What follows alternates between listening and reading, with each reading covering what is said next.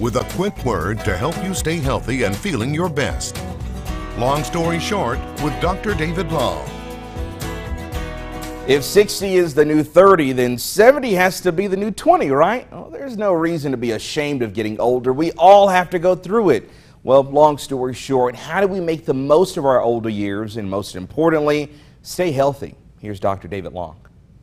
Don't you want to be able bodied and healthy enough to enjoy the prime years as you get older?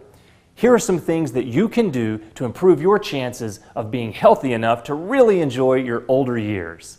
See your doctor not just when you're sick or injured, but regularly for checkups and screening tests.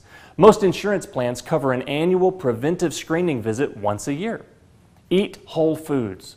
Go for more vegetables and fruits, whole grains, nuts, low fat dairy.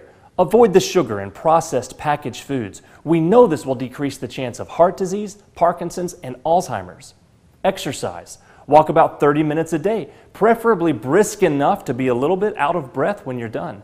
Stay connected. Isolation is strongly associated with depression and dementia.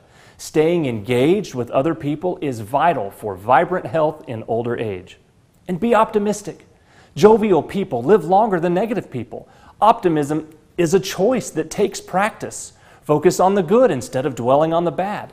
These are just a few of many health habits that can help us be the best version of ourselves as we age. I encourage you to make healthy decisions now to help ensure that you can squeeze every drop out of life that it has to offer as you reach your best years.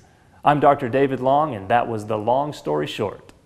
Thank you very much, Dr. Long. Remember, you can catch Long Story Short every Thursday at 640 here on KLBK. And if you missed any of our previous segments, you can catch them over on our website, everythinglubbock.com, under the health category.